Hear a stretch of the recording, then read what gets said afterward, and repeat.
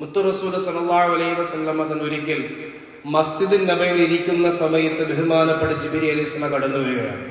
അതായത് മസ്ജിദ് നബിൽ മിമ്പറിൽ മുത്തുറസൂൽ ഇരിക്കുന്ന സമയത്ത് ജിബിരി അലൈഹിസ്ലാം കടന്നു വന്നിട്ട് ഒരു ആ- ഒരു കാര്യം മുത്തുറസൂലോട് പറയുകയാണ്. എന്താ പറഞ്ഞത്? അത്താന് ജിബിരി ജിബിരി അലൈഹിസ്സലാം കടന്നു വരികയാണ്. എന്നിട്ട് പറയുന്നു യാ മുഹമ്മദ് അല്ലയോ മുഹമ്മദ് നബിയെ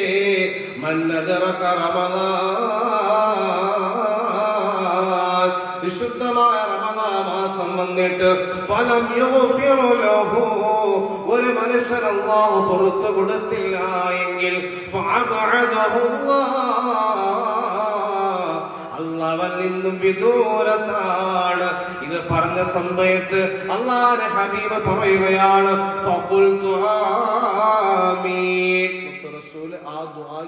പറയുകയാണ്.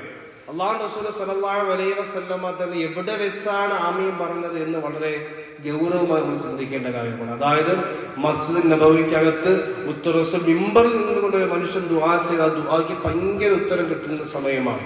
ആ സമയത്താണ് മുത്തറസൂൽ ആമീൻ എന്ന് പറഞ്ഞത്. അതുകൊണ്ട് മുത്തറസൂൽ പറയുന്നു ഈ ദുആ പടച്ചിറപ്പ് പരിപൂർണമായി സ്വീകരിച്ചിട്ടുണ്ട്. അതുകൊണ്ട് റമദാ മാസം കടന്നു വന്നിട്ട് ഒരു മനുഷ്യന് അള്ളാഹുവിന്റെ റഹ്മത്ത് ലഭിച്ചില്ലെങ്കിൽ കരുണ ലഭിച്ചില്ലെങ്കിൽ അവനെക്കാളും വലിയ പരാജിതൻ ലോകത്ത് വേറെ ആരുമില്ലെങ്കിൽ മുഹമ്മദ് മുസ്തഫ സല്ലല്ലാഹു അലൈഹി വസല്ലം. നമ്മളിപ്പോൾ നിലകൊള്ളുന്ന സമയം എന്ന് പറയുന്നത് വിശുദ്ധമായ റമദാ മാസത്തിലെ ആദ്യത്തെ പത്തിലാണ്. അതായത് കരുണയുടെ പത്താണ് നമ്മൾ നിലകൊള്ളുന്നത്. അള്ളാഹു റസൂൽ സല്ലല്ലാഹു അലൈഹി വസല്ലമ തങ്ങൾ പറയുന്നു നമ്മൾ റമദാ മാസത്തിൽ ആദ്യത്തെ പത്തിൽ അള്ളാഹുനോട് ഇപ്പൊ നോമ്പ് ആറായി. ഇനിയുമുണ്ട് ദിവസം. ഈ ഇനി ആ ആദ്യത്തെ പത്ത് ദിവസം അള്ളാഹുനോട് നമ്മൾ ചോദിക്കേണ്ടത് അള്ളാഹുവിന്റെ കാരുണ്യത്തെ പറ്റിയാണ്. അവ്വലഹു റഹ്മാൻ പടസുറബെ എന്നോട് നീ കരുണ കാണിക്കണേ അല്ല എന്ന കാരുണ്യത്തിന്റെ വചനമാണ് അള്ളാഹു ദുവാ ചെയ്യേണ്ടത് നമ്മൾ നിസ്കാരത്തിന് ശേഷം ദുആ ചെയ്യും. അള്ളാഹു റഹംന ഒറ്റയ്ക്കാണെങ്കിൽ അള്ളാഹു റഹംനി യാ റഹ്മാൻ റഹീം അല്ലാഹുവേ എന്നോട് നീ കരുണ കാണിക്കണേ അള്ളാഹു ദുവാ ചെയ്യും. ആ എപ്പോഴും വിശുദ്ധമാ റമദാൻ ആദ്യത്തെ പത്ത് മുഴുവനും എപ്പോഴൊക്കെ നമുക്ക് സമയം കിട്ടും ആ സമയത്തൊക്കെ ഈ ദുആ ഇങ്ങനെ ആവർത്തിച്ചു കൊണ്ടിരിക്കണം. അടുക്കളയിൽ ജോലി ചെയ്യുന്ന സമയത്ത് ചുമ്മാ ഇരിക്കുന്ന സമയത്ത് എപ്പോഴും അല്ലാഹുവേ എന്നോട് നീ കരുണ കാണിക്കണം അല്ല. നിന്റെ കരുണയല്ലാതെ എനിക്ക് രക്ഷപ്പെടാൻ മറ്റൊരു മാർഗമില്ല അല്ല. അതുകൊണ്ട് നീ എന്നോട് കരുണ കാണിക്കണേ അല്ല എന്നിങ്ങനെ എപ്പോഴും ഈ ദ്വങ്ങൾ ആവർത്തിച്ചുകൊണ്ടിരിക്കണം അള്ളാഹു റസൂൽ പറയുന്നുണ്ട് അള്ളാഹുവിന്റെ കരുണ കിട്ടേണ്ട അഞ്ച് സ്ഥലങ്ങളുണ്ട്. ഈ അഞ്ച് സ്ഥലങ്ങളിൽ നമ്മൾ ഇഷ്ടപ്പെട്ടില്ലെങ്കിൽ അവിടെ നമ്മൾ ഒരിക്കലും നമുക്ക് സ്വർഗം ലഭിക്കില്ല. അതായത് ഈ അഞ്ച് സ്ഥലങ്ങളിൽ അള്ളാഹുവിന്റെ കരുണ ഒരു മനുഷ്യന് ലഭിച്ചേ മതിയാവും.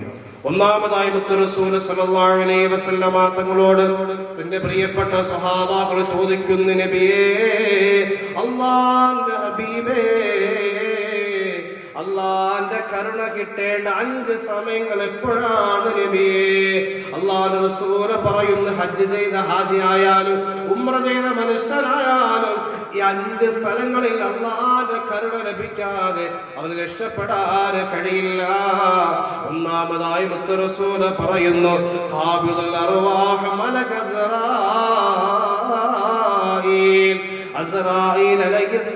കടന്നു വരുന്ന സമയമാണ്. അസ്റാൽ റൂഹ് പിടിക്കാൻ കടന്നു വരുന്ന സമയമാണ്. എപ്പോഴാണ് മരണമെന്ന് നമുക്ക് ആർക്കും അറിയില്ല. നമ്മൾ വീട്ടിലോട്ട് പോകുന്ന വഴിയിലായിരിക്കും. ചിലപ്പോ നമസ്കരിച്ചു കൊണ്ടിരിക്കുമ്പോഴായിരിക്കും. അല്ലെങ്കിൽ മറ്റെന്തെങ്കിലും ജോലി ചെയ്ത് കൊണ്ടിരിക്കുമ്പോഴായിരിക്കും നമ്മുടെ മരണം എന്നത്. അള്ളാഹു സുബ്ഹാനഹു നല്ല മരണം നൽകി അനുഗ്രഹിക്കുമാറാകട്ടെ. റസൂൽ പറയുന്നു ഒരു മനുഷ്യന്റെ റൂഹ് പിടിക്കാൻ കടന്നു വരുമ്പോൾ അവന്റെ റൂഹ് പിടിച്ച് പിടിച്ച് അവന്റെ തൊണ്ടക്കുഴിയിലെത്തുന്ന സമയത്ത് ചുറ്റുഭാഗത്ത് നിൽക്കുന്നവര് പറയും പറമോളെ ലാ ഇലാഹ ഇല്ലല്ലാഹ്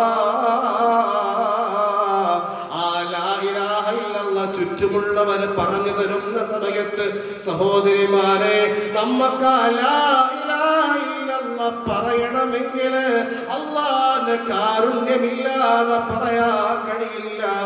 അത്രത്തോളം പടച്ചറബിന്റെ കരുണ ലഭിച്ചവർക്ക് മാത്രമേ സഹാദത്ത് കലിമ പറഞ്ഞ് മരിക്കാൻ കഴിയുമെന്ന് നബി മുഹമ്മദ് മുസ്തഫ. സക്കറാത്തിന്റെ സമയത്ത് അള്ളാഹുവിന്റെ കരു കാരുണ്യം ലഭിച്ചാൽ മാത്രമേ നമുക്ക് ലാ ഇലാഹില്ലെന്ന് പറഞ്ഞു മരിക്കാൻ കഴിയുകയുള്ളൂ